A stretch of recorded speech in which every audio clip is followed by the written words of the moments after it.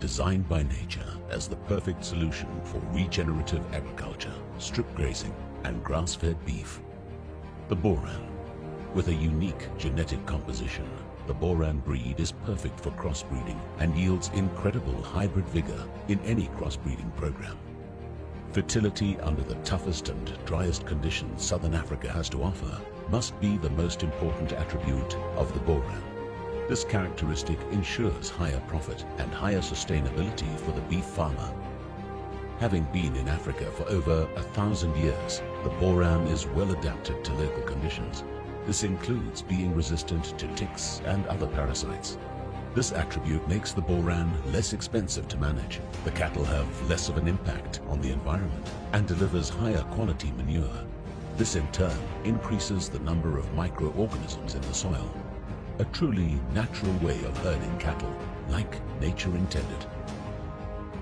The Boran mother can protect her calves against predators, and with great other characteristics and an abundance of milk, the Boran can ensure a calf weight of 50% of the dam's weight. The Boran's mothering ability is proven in the excellent survival rate of calves, the small size of calves, and the ease of birth. The beef quality of the Boran is exquisite. It is fine-grained, tender, and is highly marbled with superior taste. Scientifically proven, top-class, marbled Zebu beef. The Boran developed a calm, docile temperament over generations of living close to man. They are also easy to herd due to their strong herd instinct. It is almost impossible to steal a single Boran animal from a herd making it the perfect animal for areas plagued by stock theft. Longevity in both the male and female animals is a standout characteristic of the Boran.